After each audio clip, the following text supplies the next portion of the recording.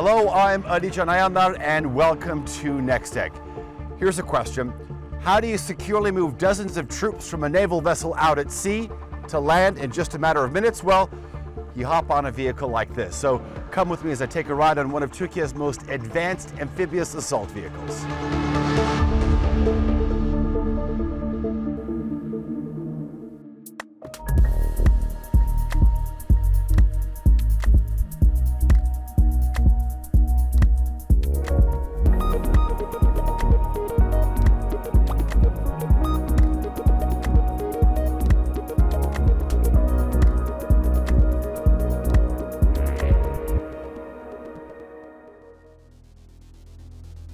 So this is the Zaha Marine Assault Vehicle, or MAV for short.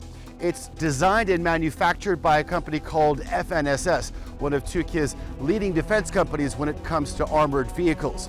Now, what makes this MAV so unique is that it's one of the crown jewels of Turkey's drive to create indigenous technologies, both to safeguard national security while also sharing the equipment with partners abroad. Armored personnel carriers first appeared in large numbers early in World War II when the German army adopted them to carry infantry divisions into battle.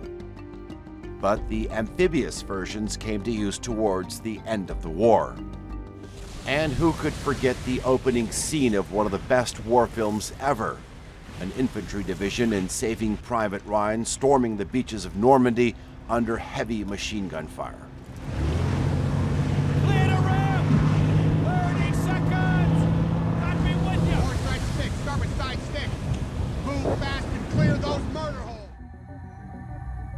Company's MAV is powered by a diesel engine that provides a 20 horsepower to ton power weight ratio.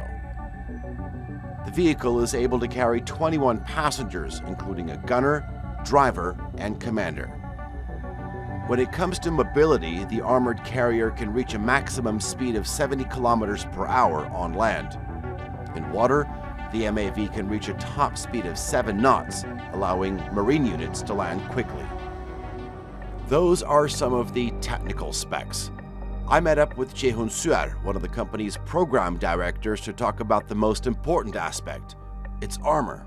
The time that this MAV leaves the landing vehicle, by the time it gets to land, that period of time is perhaps the most vulnerable in terms of coming under attack. Talk to us about how this monster uh, is equipped with uh, some of the uh, defense capabilities to ensure that the people inside don't die. Sure, sure. MAV uh, has a high level of ballistic and armor protection, secured through the design of the ballistic hull and use of add-on armor. And also inside the vehicle we use spall liners in case there is any penetration to stop any fragments and they avoid you know, the damaging the people inside.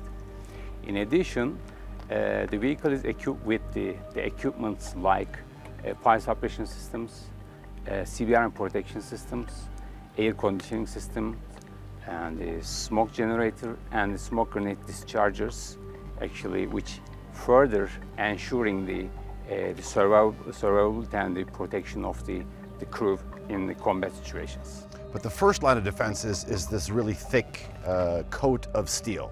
It's a special design to actually assure and a certain level of protection required by the user. So it's a special design, uh, the, the, hull, ballistic hull, and also uh, the armor protection uh, is, is increased further by using add-on armor system. One of the biggest threats uh, to a vehicle like this would probably, I'm assuming, would be uh, an, an, improvised explosive device. Uh, yes. And we're talking about perhaps hundreds of kilos of that uh, placed uh, in the track of this. Um, and, and, a vehicle of this type is actually able to withstand the blast force of that. Sure, sure. You know, the, the MAV is mainly uh, actually uh, used by the Marines for amphibious operations. But as you also stated at the beginning, when the vehicle lands and on, in, the, in the land, it actually operates like a, the combat vehicle along with the other uh, uh the, the vehicles. So uh, the vehicle also provides protection against IEDs uh, in case of operation uh, on land. This MAV's main task is to ferry troops safely and securely from sea to land. Think of it as a military taxi that can navigate through water, on land, and up and down steep hills. So now we're going to see how it operates in the water.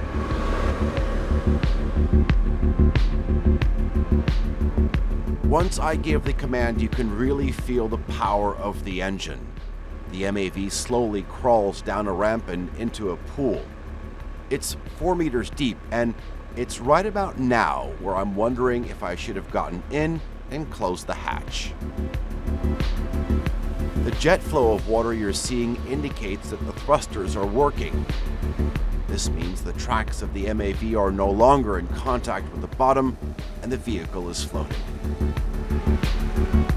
And for a multi-ton land vehicle, this MAV is extremely maneuverable, even in water. Now, any commander knows the battlefield is rarely a nicely paved, flat road. Military vehicles need to navigate all sorts of terrain and, most importantly, different elevations.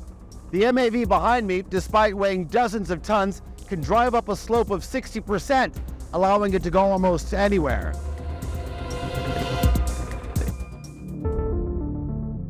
All right, time to get out from under the blistering sun and head inside to talk to the company's CEO.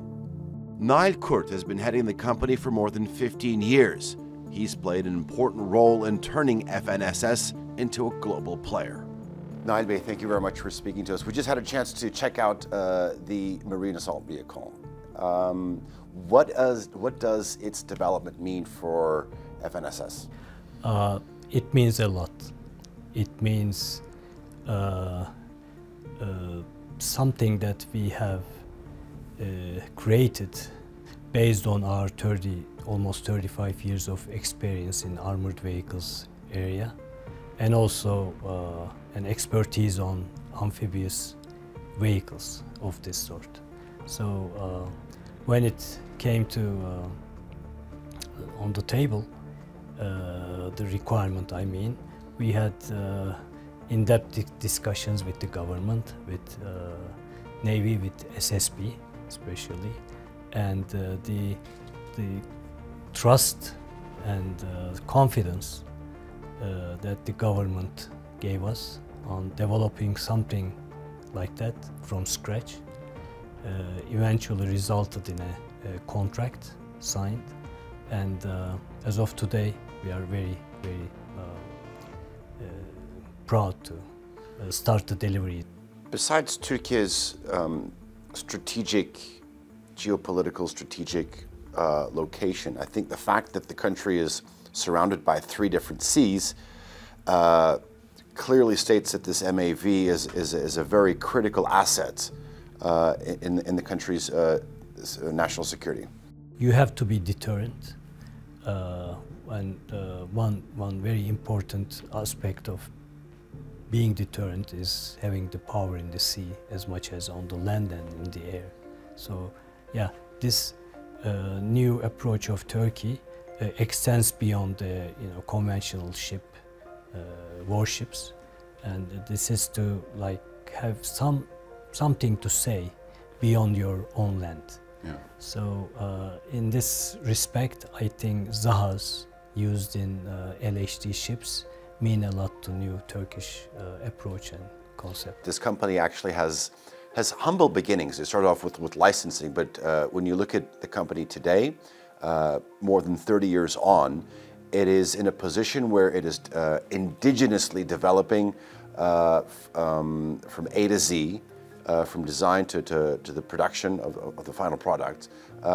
and this shows you how much not only the company has grown, but also the Turkish defense industry as well, and it's placed itself in a unique position. Yeah, uh, I, I, think, I mean, looking back uh, 30 years ago and coming to today, you can, I mean, when you examine FNSS history, you will see a lot of reflections, the similarities with the development of Turkish defense industries.